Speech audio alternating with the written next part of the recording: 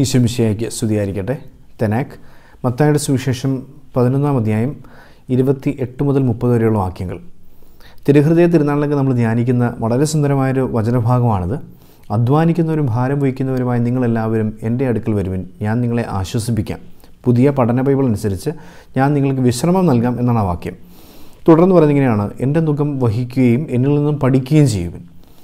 അവസാനം വരി പറയുന്നിങ്ങനെയാണ് എന്റെ മുഖം മൃദുവും ഭാരം ലഘുവുമാണ്.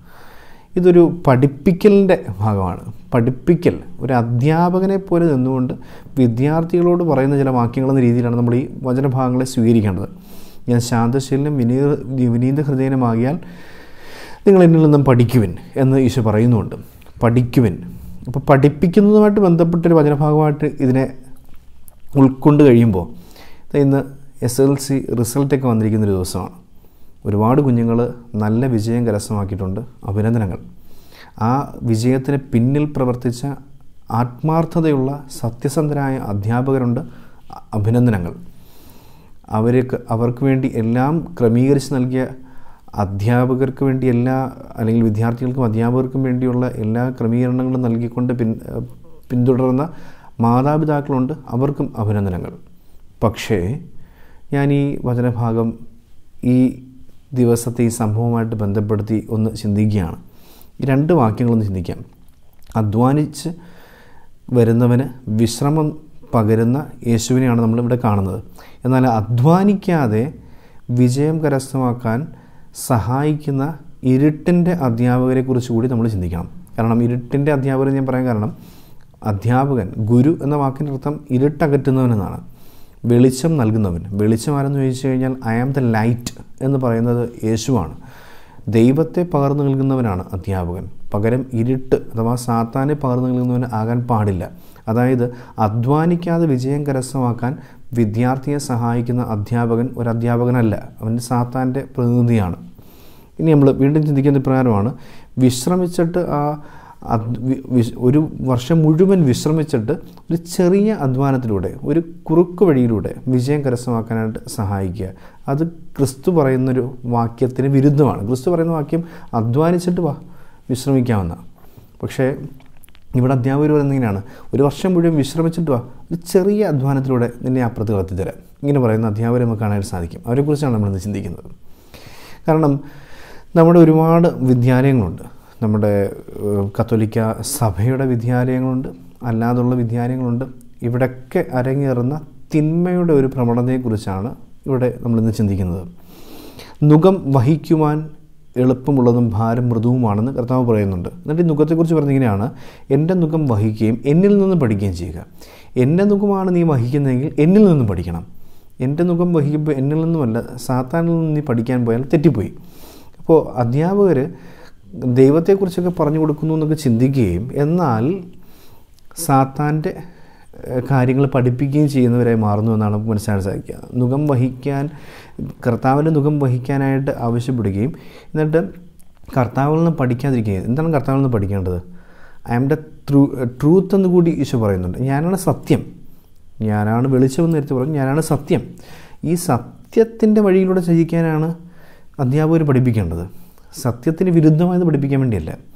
ഞാൻ ചിന്തിക്കുകയാണ് ഇങ്ങനെ ഒരു ആത്മാർത്ഥതയുമില്ലാതെ അധ്വാനിക്കാതെ അധ്വാനിക്കാൻ വിദ്യാർത്ഥിയെ സഹായിക്കാതെ ഒരു വർഷം ഒരു അധ്യയന വർഷം മുഴുവൻ തള്ളി നീക്കിയിട്ട് അവസാനം പരീക്ഷയുടെ സമയത്ത് ഇൻവിജേഷനും അല്ലെങ്കിൽ എക്സാമിനറായിട്ടൊക്കെ വരുന്ന അധ്യാപകരെ സ്വാധീനിച്ച് വിദ്യാർത്ഥികൾക്ക് വേണ്ടി തുണ്ടുകടലാസും കോപ്പിയും കൊണ്ട് കൊടുത്ത് വിജയം കരസ്ഥമാക്കാൻ സഹായിക്കുന്ന അധ്യാപകർ കുറച്ചെങ്കിലും ഉണ്ട്. എല്ലാവരും അല്ല എല്ലാ കുറേയധികം നല്ല അധ്യാപകരുണ്ട്. അതിൽ വളരെ കുറച്ച് പേര്. അത് കാറ്റഗിസം മേഖലയിലും ഉണ്ട്. അതാണ് ഏറ്റവും വലിയ ശാപം എന്ന് പറയപ്പെടുന്നത്. കുറച്ച് പേര് വിദ്യാർത്ഥികളെ തെറ്റ് പഠിപ്പിക്കുന്നു. നമ്മൾ വചനത്തിന്റെ അടിസ്ഥാനത്തിൽ ചിന്തിക്കുകയാണെങ്കിൽ ഇങ്ങനെ ചിന്തിക്കാൻ സാധിക്കും. ചെറിയ കാര്യങ്ങളിൽ വിശ്വസ്തൻ വലിയ കാര്യങ്ങളിൽ വിശ്വസ്തനായിരിക്കും. ഇപ്പോൾ ചെറിയ കാര്യങ്ങൾ എന്ന് പറയാവുന്ന ഈ പരീക്ഷയിൽ അവിശ്വസ്തത കാണിക്കാൻ സത്യസന്ധത ഇല്ലായ്മ കാണിക്കാൻ പഠിപ്പിക്കുന്ന അധ്യാപകർ യഥാർത്ഥത്തിൽ കുറ്റവാളികളെ സൃഷ്ടിക്കുന്ന അധ്യാപകരായി മാറുന്നു. ഇതാണ് ഏറ്റവും വലിയൊരു സിനിമ നമുക്കൊന്ന് ചിന്തിക്കാൻ സാധിക്കും. ഒന്ന് അധ്യാപകർ കോപ്പി അടിക്കാണ്ട് ഞാനിത് പറയാനൊരു കാരണമുണ്ട്. ഞാൻ ഇന്ന് റിസൾട്ടൊക്കെ വന്നു കഴിഞ്ഞപ്പോഴത്തേക്ക് അത്ര മോശമല്ലാത്ത റിസൾട്ട് വാങ്ങിച്ച ഒരു വിദ്യാർത്ഥിയുമായിട്ട് ഞാൻ സംസാരിക്കുകയായിരുന്നു. അപ്പോൾ പറഞ്ഞു കൂട്ടുകാരുടെയൊക്കെ റിസൾട്ട് പറഞ്ഞു. കൂട്ടുകാരുടെയൊക്കെ റിസൾട്ട് പറഞ്ഞിട്ട് വിങ്ങുന്നുണ്ട്. ഇങ്ങനെ കരയാൻ പോകുന്ന കണക്കാണ് സംസാരിക്കുന്നത്. ഞാൻ എന്താ? കുഴപ്പം എന്താ അപ്പോൾ അച്ഛൻ ഞാൻ എല്ലാ ദിവസവും പരീക്ഷയ്ക്ക് പോകുന്നവരും അച്ഛനെ വിളിക്കുമായിരുന്നു. ശരിയാണ്. വിളിക്കും. വിളിച്ച് പ്രാർത്ഥിക്കണമെന്ന് പറയും. ബ്ലെസ്സിങ് വാങ്ങിക്കും. പരീക്ഷ എഴുതും. തിരിച്ചു വന്നിട്ട് പരീക്ഷയുടെ വിശേഷങ്ങൾ പറയുകയും ചെയ്യും. അപ്പോൾ അതിന്റെ ഇടയ്ക്ക് ഒരു ദിവസം പറഞ്ഞു മലയാളം പരീക്ഷ കഴിഞ്ഞ് ഇംഗ്ലീഷ് പരീക്ഷ കഴിഞ്ഞ് ഇങ്ങനെ പരീക്ഷകൾ കഴിഞ്ഞുകൊണ്ടിരിക്കുമ്പോഴത്തേക്ക് അതിനിടയ്ക്ക് ഒരു ഇത്തിരി കട്ടിയുള്ളൊരു പരീക്ഷ വന്നപ്പോൾ അധ്യാപകരുടെ നേതൃത്വത്തിൽ തന്നെ ഹാളിൽ കോപ്പി ഡിസ്ട്രിബ്യൂഷൻ ഇറങ്ങിയാണ്. ഒരു ഒരു അധ്യാ ഒരു വിദ്യാലയത്തിൽ നടന്ന സംഭവമാണ് ഞാൻ ഈ പറയുന്നത് എന്ന് വെച്ചാൽ ആ വിദ്യാലയത്തിൽ മാത്രമല്ല പല വിദ്യാലയങ്ങളിൽ നടക്കുന്ന സംഭവമാണിത്. Copy distribution ഇറങ്ങിയാണ്. അപ്പോൾ എന്റെ അടുത്തും കൊണ്ടുവന്നു. ഞാനത് വാങ്ങിച്ചില്ല അച്ഛാ. വാങ്ങിക്കേണ്ട ആവശ്യം എനിക്കില്ലായിരുന്നു. ഞാൻ പഠിച്ചിട്ടുള്ള ഭാഗമായതുകൊണ്ട് ഞാൻ വാങ്ങിച്ചില്ല. നാളത്തെ വിഷയം പക്ഷേ പാടാണ്. ഞാൻ വാങ്ങിക്കണോ വേണ്ടയോ എന്നൊക്കെ ഉള്ളൊരു കൺഫ്യൂഷനിലാണ്. അധ്യാപകർ തന്നെയല്ലേ ഡിസ്ട്രിബ്യൂട്ട് ചെയ്യുന്നത്. അപ്പോൾ ഒരു തെറ്റൊന്നും ഉണ്ടായിരിക്കത്തില്ലല്ലോ. ഞാൻ പറഞ്ഞല്ല പാടില്ല. ചെയ്യാൻ പാടില്ല. കാരണം അത് ഏറ്റവും വലിയ തിന്മയാണ്. അതിൽ പല എലമെൻസ് ഉണ്ട്. ഒന്ന് നീ നിന്നോട് തന്നെ കാണിക്കുന്ന ചതി. രണ്ട് നിന്റെ കൂടെ പഠിക്കുന്ന മറ്റ് വിദ്യാർത്ഥികളോട് കാണിക്കുന്ന അനീതി ഇങ്ങനെ പല കാര്യങ്ങളും അതിനകത്തുണ്ട്. അതുകൊണ്ട് നീ അത് ചെയ്യാൻ പാടില്ല. നീ വാങ്ങിക്കുന്ന നീ പഠിച്ച് വാങ്ങിക്കുന്ന മാർക്ക് എത്രയാണോ അതാണ് നിന്റെ വിജയം. ആ വിജയത്തിന് വിലയുണ്ട്. ഇനി നീ പഠിച്ചിട്ട് ഈ ചോദ്യമൊക്കെ വളരെ അങ്കലാപ്പുള്ള ചോദ്യമാണ്. പരീക്ഷ കൃത്യമായിട്ട് എഴുതാൻ പറ്റിയില്ല. പരാജയപ്പെട്ടു പോയെന്നിരിക്കട്ടെ. അങ്ങനെ പരാജയപ്പെട്ടു പോയാലും നീ വിഷമിക്കണ്ട. ആ പരാജയത്തിന് ദൈവത്തിന് മുമ്പിൽ വിലയുണ്ട്. വിലയുള്ള പരാജയം. അങ്ങനെയാണ് നമുക്കതിനെ വിളിക്കാൻ സാധിക്കുക. മറ്റേത് പഠിക്കാതെ കോപ്പി അടിച്ച് വിജയിക്കുകയാണെങ്കിൽ അതിനെ നമുക്ക് വിളിക്കാൻ സാധിക്കുന്നത് വിലകെട്ട വിജയം. ഒപ്പം ഭാരപ്പെടുത്തുന്ന വിജയം. അങ്ങനെയാണ് നമുക്ക് കുറ്റബോധത്തിന്റെ ഭാരം നിറഞ്ഞു വിജയം. അല്ലെങ്കിൽ ശാപത്തിന്റെ ഭാരം നിറഞ്ഞു വിജയം. അങ്ങനെയാണ് നമുക്കതിനെ വിളിക്കാൻ സാധിക്കുക. എന്താണ് ഇതിന് വലിയ ഒരു ശാപം എന്ന് പറയുന്നത് അധ്യാപകർ ഇത് പ്രൊമോട്ട് ചെയ്യുന്നുള്ളതാണ് അധ്യാപകർ പ്രൊമോട്ട് ചെയ്യുമ്പോൾ എന്തൊക്കെയാണ് പ്രശ്നം? ഒന്ന് സ്വന്തം കടമ ചെയ്യാത്ത പോയി രാജിവെക്കേണ്ട അധ്യാപകരാണ് ഈ തിന്മയ്ക്ക് കൂട്ടിയിരിക്കുന്നത്. അധ്യാപകൻ എന്ന ടീച്ചർ മാസ്റ്റർ എന്ന് പറയപ്പെടുന്ന ആ ടൈറ്റിൽ ക്രിസ്തുവൊക്കെ അഭിസംബോധന ചെയ്യപ്പെട്ടൊരു ടൈറ്റിലാണ് ഗുരു. ആ ആ ടൈറ്റിലിന്റെ മഹത്വം മനസ്സിലാക്കി പ്രവർത്തിക്കാതെ ആത്മാർത്ഥതയില്ലാതെ സത്യസന്ധതയില്ലാതെ പെരുമാറുന്ന അധ്യാപകർ ആ സ്പോട്ടിൽ രാജിവെച്ച് വേറെ ഏതെങ്കിലും കൂലിപ്പണിക്ക് പോയോ വേറെ എന്തെങ്കിലും പണിക്ക് പോയോ ചെയ്ത് ജീവിക്കണം. വേറെ എന്തെങ്കിലും ജോലി ചെയ്ത് ജീവിക്കണം. അവരാ അതിന് അർഹരല്ല. രണ്ടാമത്തേത് സത്യസന്ധത പഠിപ്പിക്കുവാനായിട്ട് കടപ്പെട്ടവരാണ് അവർ സത്യസന്ധതയ്ക്ക് പകരം അവിശ്വസ്തത പഠിപ്പിക്കുമ്പോൾ എതിർ സാക്ഷികളാണ് എതിർ സാക്ഷ്യം പഠിപ്പിക്കുകയാണ്.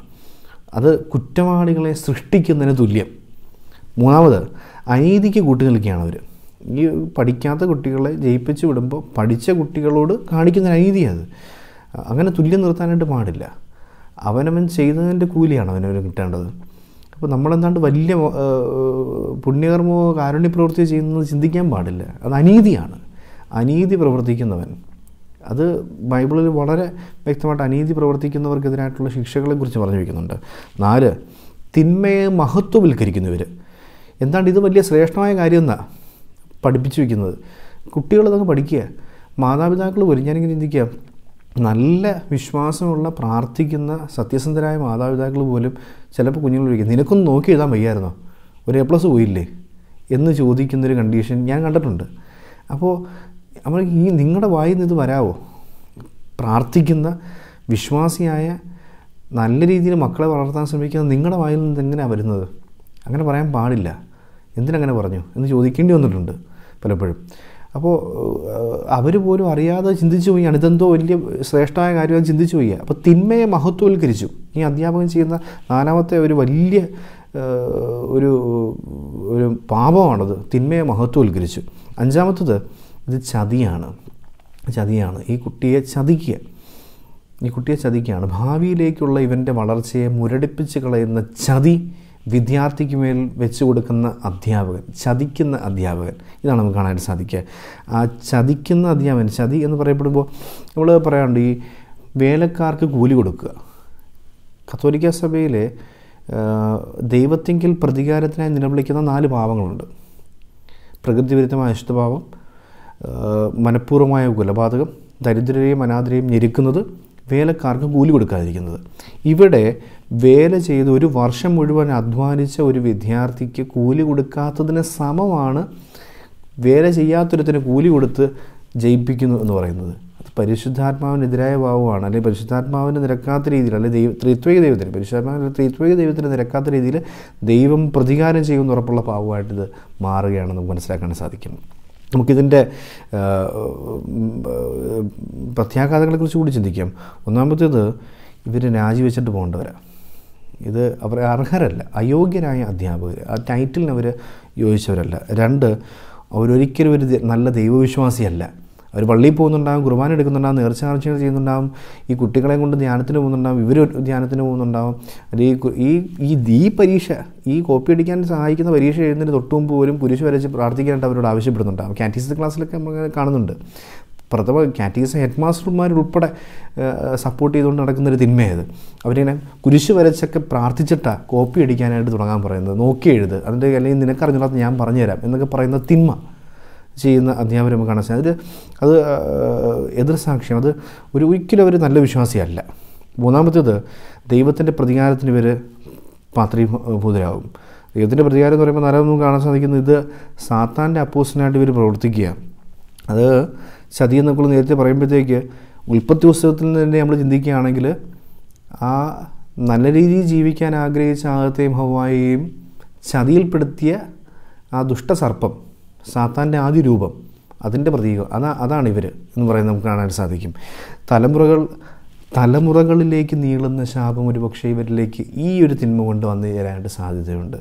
കാരണം നീതിയോടുകൂടി പഠിച്ച് പരീക്ഷ എഴുതി ഒരു വിദ്യാർത്ഥി പരീക്ഷ എഴുതിയിട്ട് അവനിങ്ങനെ മാർക്കും വെച്ചുകൊണ്ടിരിക്കുകയാണ്. അവനുള്ളതിനേക്കാൾ കൂടുതൽ മാർക്ക് പഠിക്കുക ഒരു വർഷം മുഴുവൻ ഉഴപ്പി തുടങ്ങി പഠിക്കാൻ നടന്നിട്ട് പഠിക്കാതെ നടന്നിട്ട് അധ്യാപകന്റെ സഹായത്തിൽ കോപ്പി അടിച്ചിട്ട് അവനേക്കാൾ മാർഗം വാങ്ങിച്ചെടുത്ത് ആ മറ്റവൻ മറ്റുവനിരിക്കുക അപ്പോൾ ആ കണ്ണീരിന് കാരണമാകുന്നു എന്ന് പറയുമ്പോൾ അത് വലിയ ശാപമാണ് ഈ അധ്യാപകരുടെ തന്നെ മക്കളിലേക്കൊക്കെ അത് പ്രതിഫലിച്ച് കാണും എന്നുള്ളത് കാലം തെളിയിച്ചിട്ടുള്ള കാര്യമാണ്. നമ്മൾ പലവട്ടം കണ്ടിട്ടുണ്ട് ഇനിയും കാണും ചെയ്യും.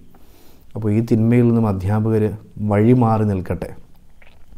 ഈ ശാപം പേർന്ന സാത്താനിക അധ്യാപകർ എന്താണ് വിതയ്ക്കുന്നത് എന്ന് ചോദിച്ചാൽ ഭാരപ്പെടുത്തുന്ന വിജയങ്ങളും ഭാരപ്പെടുത്തുന്ന വിജയങ്ങളാണ് അവർ നൽകുന്നത്. പക്ഷേ വിലയുള്ള പരാജയങ്ങളും വിലയുള്ള പരാജയങ്ങൾ സത്യസന്ധമായി പരീക്ഷ എഴുതിയ കുഞ്ഞുങ്ങൾ മാർക്ക് ഇത്തിരി കുറഞ്ഞു പോയിട്ടുണ്ടെങ്കിലും വേദനിക്കേണ്ട ഭാരപ്പെടേണ്ട ദുഃഖിക്കേണ്ട. നിങ്ങൾക്കൊപ്പം ദൈവം സർവശക്തനായ ദൈവം എന്നുമുണ്ട്. ദൈവം അനുഗ്രഹിക്കട്ടെ.